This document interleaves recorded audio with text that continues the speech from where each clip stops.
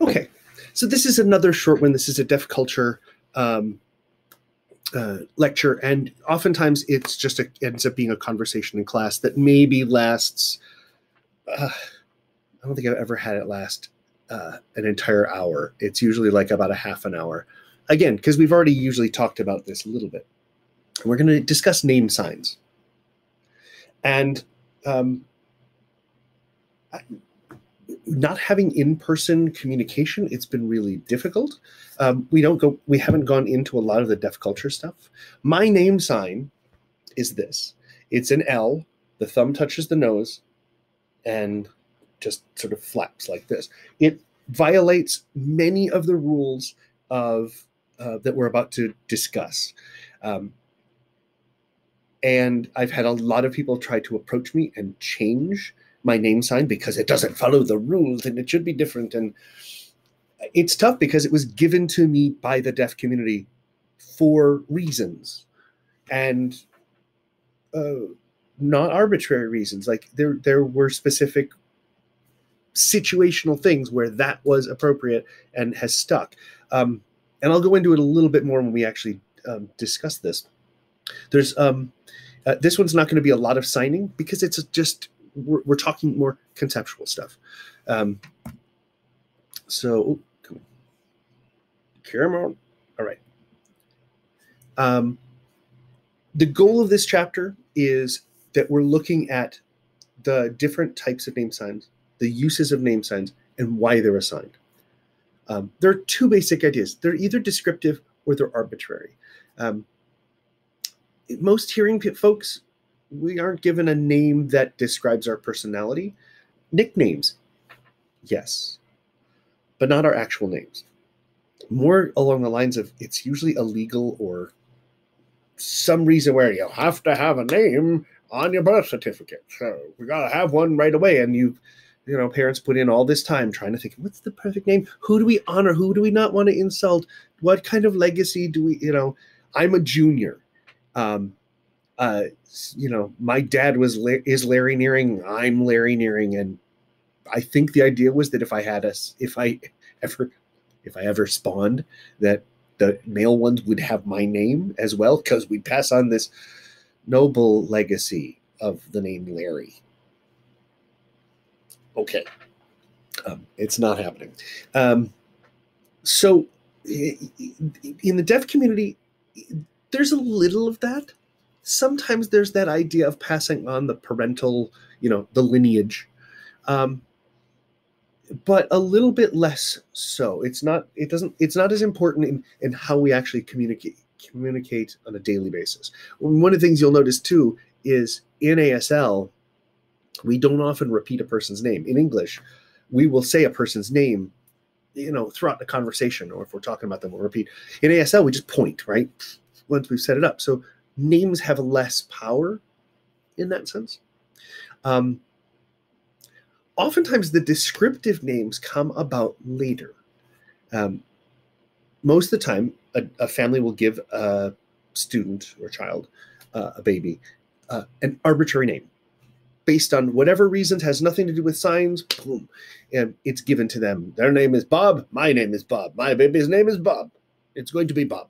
Then trying to determine how are you going to sign Bob? Is it Robert? Is this with an R? Is it with a B? Um, and um, okay, so that's the arbitrary name. A descriptive name is one where it's iconic for the person, where somehow it reflects either uh, their appearance, their behavior, or um,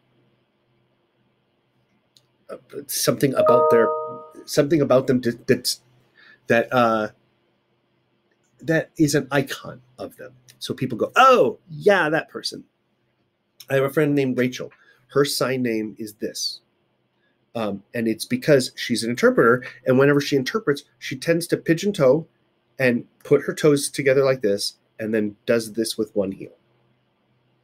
And it, it's not a negative comment. It just is one of the things that many deaf people were like, oh, you know that interpreter? She always does this right, right, right. So that became her name set, Rachel.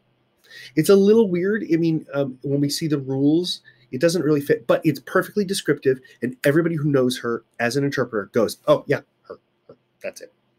Um, uh, an interpreter in town named Juliet. Her name sign is this because she always had long wavy hair that would like come down one over over one shoulder. You know, um, now she's got really short hair, but her name sign is still this. But everybody knew her as that. Um, my friend Troy, his name sign is this. It's because the way I heard it, the story he told me was is because as a kid he really wanted to be a fireman. He loved firemen, and you know, so his name sign is this because that's the sign for fireman, right? Um, uh, so there's no new vocab for this one. All we're going to be talking about is sign names. Um, it's really not appropriate for the the chapter tells you how to how to determine if one is a, an appropriate sign language uh, uh, sign name following the rules or not, and that's not our place right? Um, the best thing I can tell you is this chapter is really useful if someone tries to give you a name sign. If it doesn't follow these rules, don't get married to it because it's not appropriate. Your name sign, once it's appropriate and is given to you, will make sense. And it will be, uh, it'll be like a baptism, is the best way I can say it. It's like you'll feel like I've been embraced by the community. Now they have a name, they recognize me. So it's a, it's a kind of important step. It means you've you know got your passport stamped. No, so I mean the same thing we talked about. You're given generally you're given your name by your parents, your legal name, your English name. Um, and you could be named after you know anybody it could be named after someone in the family it could be named after a literary character celebrity someone famous from history uh, whatever cult you happen to be your family happens to be part of you might be named out of their textbook um, some parents just go to a list of baby names and choose which one they want and other times new names get created or get adapted because the parents want something that sounds appropriate sounds the way they want right? So there are many different ways that we come about our first name, um, uh, meaning our initial name. But most deaf people tend to have two names. One is their given name, and the other is their sign name. Um, and again, the sign name is usually initially given by parents because they have to have some way of referring to this new offspring. Um, but it will often change. Uh, kind of like I, I, suppose we all have we. Uh, I don't know if you guys you're pretty young, but usually every decade or so there's or 15 years there's a new iteration. Sometimes people have their their name that their that's their family name that's given. Oftentimes you'll get a nickname in school. Um, hopefully it's not like Booger I always felt bad for the kids who, you know, got caught picking their nose in elementary school and forever had the nickname Booger. So it's just, it's so cruel. Children are so cruel. Anyway, um, and then usually when you get to college, you develop a new nickname, right? You know, new people. You want to get rid of all the old stuff from town, and then your professional name might be somewhat different. It, you know, Larry is not exactly the most professional, so there were times where I would go with Lawrence. Um, uh, some people don't want their the gender of their first name and will go with the first initial. Especially many writers, um, many female writers would change their uh, nom de plume uh, because they wanted to be taken as by their writing, not by the gender. Or um, you know, if you are uh, culturally speaking, people will change their names. One of my uh, good friends, his family changed their name around the turn of the century, early 1900s, because um, um, the way they said is that their name was too Jewish, and they wanted to be accepted in uh, American society. Um, and anti-Semitism is pretty is still pretty horrible. So they changed it, and you know, they know the story, but so many other people have no idea. And sadly, it was a positive thing for them. So, uh, uh, so anyway, names do change. I don't know if you go by the, you know, uh, a lot of people, if, if they if my wife, if someone calls her Beth, it they you you know what uh, time period they know her from. If they call her uh, Bethany, it's from a different age group. And then she had other nicknames growing up that if she hears that, uh, you know it was an inner circle of people who know that. And if someone says it and it's not them, then it's pretty offensive because she's like, you're not allowed to call me that. That's only for my really good friends. Okay. So again, name signs will change over time. And sometimes people have like a professional name sign. Many teachers will have a classroom name sign, which is different than their real name sign. Uh, they wanted my in grad school, they wanted to change my name sign from this to like something else because this was not appropriate and respect- respectable for a teacher. I'm like, I'm, I'm a silly person at my core. So this is pretty pretty appropriate. And if I can't get my students to respect me by what I do in the classroom, um, then maybe I shouldn't be teaching. I don't know. Um, uh, anyway, you know, I, I'm, that's making an assumption that you respect me. So, um, so here's a video on uh, from the textbook on how Sam got his name and um, how uh, with a newborn they were given the name. And I could explain it. Just watch it. It's all in there. And if there's anything you don't understand, just watch it again. It's really pretty clear. As you've seen with all the videos, they really level them up pretty perfectly. Um, uh, so now I'm going to caution you about name signs. Uh, no one gives themselves a name sign because it that's one it's just not how it works and two you don't see yourself the way other people see you um, and as I said, like when you're given your name sign, that's sort of a stamp of approval from the community. Um, so initially, at first, in all of our ASL classes, it's going to be finger spelled. Once in a while, we'll get to the point where we'll talk about something. Oh, you remember when that person did this? Oh, yeah, that's the person. That's the person who's always like cold, just always cold. So, um, so sometimes I will refer to someone in class of, oh, okay, cold lady, what do you want? Or sleep person what do you want right? Um, that's the start that's the genesis of a name sign. Or if someone's always dressed a certain way someone always has you know uh, uh, i had one student who always wore a very shiny um, medallion. No matter what was being worn they always had a medallion. And so it was kind of when describing oh who am i talking about? Oh person with the meda- with the medallion uh. Um, that would have become a name sign, right? Uh, sometimes they're negative. If the deaf community does not have a good opinion of you, you may have a secret name sign that's an insult because you are not respected by the community. So why would they give you a respectful name? Um, uh, I have an ex who my entire family refers to as the princess. I can't argue with them. That's the way they saw her.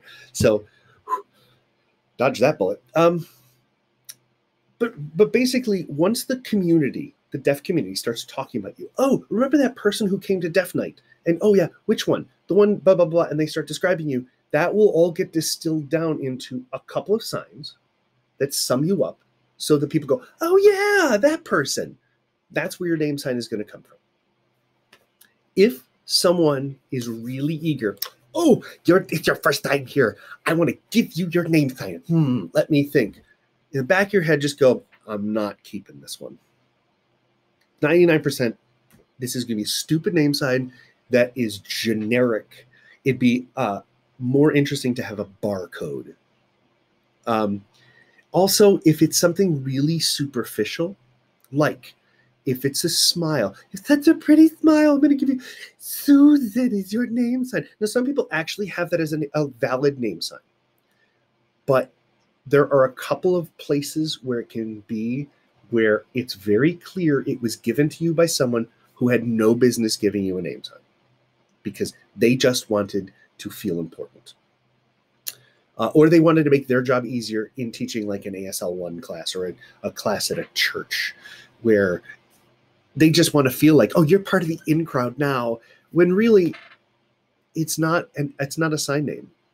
It's like calling everybody Fred or Hey You. Um, so, what are the proper places? Most of the time, when you see a name sign, it will be either on the head, on the torso, or on your non dominant hand. Sometimes it will also be in the center, just in neutral. It's a more of a placeholder with your first initial. Um, so on the head, and I, I've broken this all down. Usually, it's either on the forehead, like you know, Dad, like Michael. Um, it could be on the temple, which are you know your dominant side. You wouldn't go across the way, but like Michael.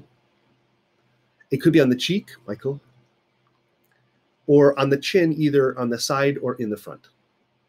Okay, so really, it's boom, boom, boom, boom, boom. Um, and it's usually like a double tap or maybe a circle. And you'll see that talk about, oh,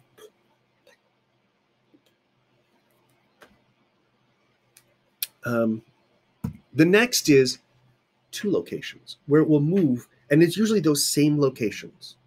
Um, so it could be Michael, um,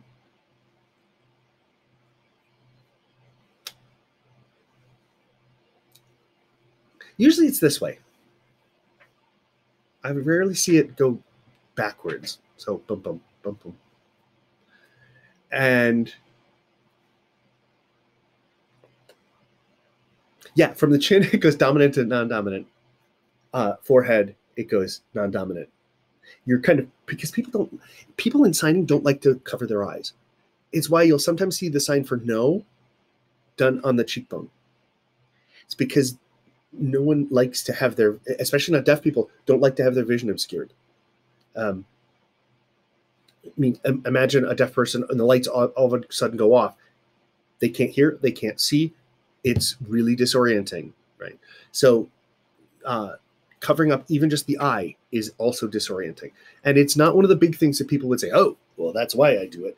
But it's pretty consistent that people will say, oh, I know that, I know that. Right. Um, so dual location. The next is on the torso, and usually it's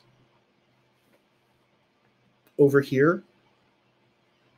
It's rare you do one over here. Oh, that's Mikey, unless he's the boss, right?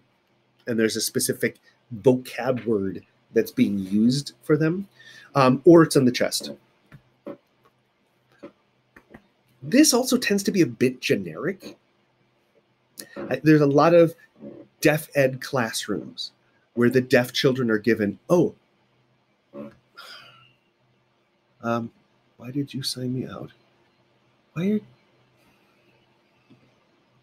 Hold on, let me pause this.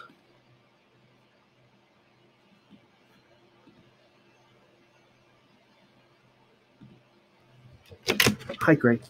Great. You were totally Hi, bud. Yeah, I'm working. Can you can you not can, can you not knock things over? Please?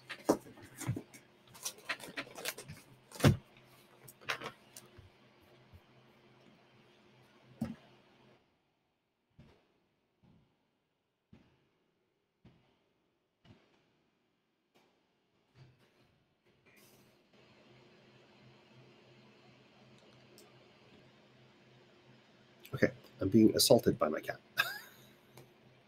you can, can you please, um, Grayson, come over here. Okay, don't shoot them your butt. Okay, so this and this, there, you'll see that in many deaf ed classrooms where teachers just give kids a generic name sign. Mikey's doing this. Mikey's doing this. Now it's Bobby's turn. It's Bobby's turn. And I hate that. Like, I, I realize that they need something right away, start a class, start a school year so that they can refer to students easily because finger spelling is not going to be very useful. And they do usually change. But until they do, it's the most generic way of referring to someone. Um, again, it'd be like naming every kid who comes into your kindergarten class uh, Fred until you sort out you. Anyway, okay. So you can also do dual location if it goes from chest to tummy, Michael, uh, non dominant shoulder dominant, Michael, or like uh, a sash coming down. This is like the sign for king, royalty, Michael. Um, they're a little bit more interesting than just the generic ones. Uh, but sometimes, though the location, as we saw in the, the video with uh, Sam's name sign, uh, the location could be a family thing where everybody in the family has a sign name down here. Or I've seen where all the boys had sign names up here, all the girls had sign names down here. Um, there are traditions, and sometimes people in the community will go, "Oh, you're from that family." I think it's less and less so like that um, now with uh, with I suppose back with the schools for the deaf were stronger, and that's where everybody who was deaf went. There was more of a sense of that, where oh, this is a legacy we're passing on. Now, sadly, a lot of that's been lost. Um, the non-dominant hand, you can either you'll see signs here, Michael. Oh, that's that's Bob. Um, the back of the hand, Bob, Bob, or the palm, Bob. Um, I find that they're not as common, but sometimes it's there. Uh, uh, and it also can be dual location as well. You could do boom, boom. Well, that's Bob, like the sign for power. Uh, it could be longer. That's Jim. Jim uh, two location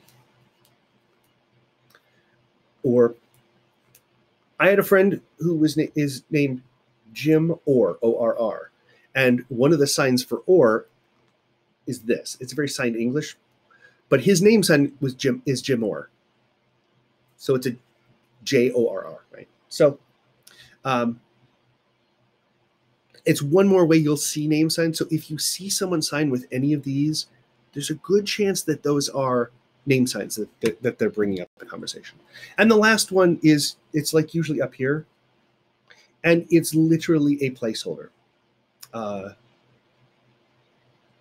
Isabel. Um, I mean, there's a there's a there's an order to name signs usually. Uh, usually they are not offensive unless you deserve it. Um, mine, Larry, is a bit offensive. Signs that happen on the nose tend to be quite negative and oftentimes insulting. Um, uh, I was given it because I was ta- I was taking an ASL, I think two class way back in college, way back in the dog ages, and my cat is drawing blood now on my knee. Anyway, uh, I was one of the few people who was actually taking the class seriously. Almost everybody else was doing it. Uh, well, through the school, it was a way of um, we were aligned with a hospital, and anybody who took a basic any of the sign language classes could get an extra long lunch period because they would do lunch and then they would take the class. So tons of people would take the class having no intention of ever learning sign language. So there was me and about 15 other people, and we're all like, I was the only one going, I want to learn this. And they're like, oh, I have 15 minutes and then I have to go back to work. Um, so he would hand out, when he would give a handout or, you know, give a quiz or something like that, they would take as long as they needed until the bell rang because it was easier. And we didn't have cell phones at that point, right? We had wax, wax styli. No. Um, but I would be done and be like, mm, okay, I'm ready to go on, ready to go on, ready to go on, because geek that I was. And I didn't know enough sign to be able to really have a conversation with the teacher. So um, I would usually start off where, as soon as I was done, I'd be like, I'd catch his eye and I'd do this. And then he would do it back and we would just sort of joke back and forth. Well, by the end of that class, at the end of that semester, he gave me the name sign Larry because I did this. It also encompasses I all through high school and college I played the trumpet. Um, I also tend to be silly. So, and I, uh, I'm, um, I, I, I bug, sign for insect, bug people. Uh, so it seemed like that name sign was pretty appropriate for me, Larry. Um, While he was doing that, he dug his claws in. That hurts, but okay, I'm almost done. Um, so, if someone gives you one of the generic name signs, like smile or, you know, on the chest, here, just be a little skeptical. If it doesn't if it doesn't represent you, how you look, how you behave, or the situation in which you're there, um, just be skeptical of it. Um, don't get married to it. Don't think of it as a badge of honor because it may just be a generic placeholder. Um, hold out. Um, I, I, mean, you can even say to someone, "Oh yeah, well they gave me this name sign. It's it, it's it's Larry, but I don't know. It doesn't feel right." Um, because it may be also that the sign has it is a vocab word and means something else. Um, like this is the sign for lazy, but also the sign for loyal, which is weird. I hate that they're L's, but um, um, also tied in with this, keep in mind that not every Michael has the same name sign. There is not a name sign for a name. Okay, there is a name sign for a person. Every person has a different name sign. And even if the name sign is basically the same for two people, there's usually some slight difference between how they're signed. Um, and remember the power of a name. If if any of the Fae learn what your true name is, they have power over you. So name signs name signs do represent people, and uh, there's a lot to think about.